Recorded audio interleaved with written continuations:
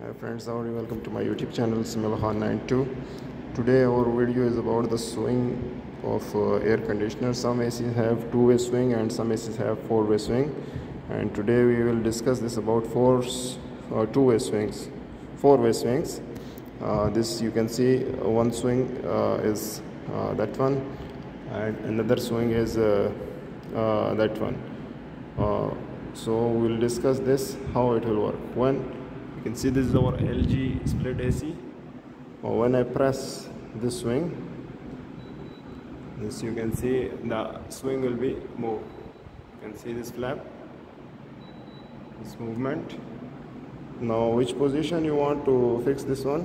You can easily fix that you can see. In this place when I press this it will be changed. You can see it is came to the center now you see in the AC it comes to the center. And when I press it again it go up and up and again up. Fully upside now. And now when I press this one you can see here full. Now this will be you can see this full now.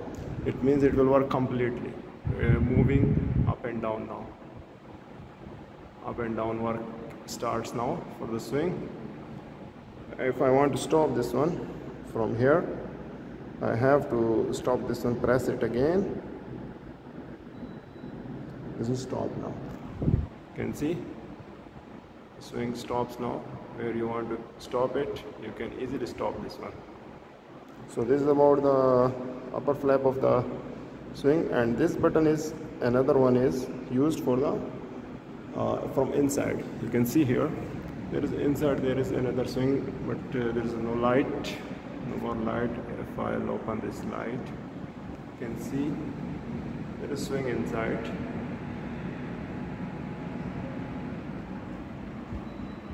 The inside swing will work like that.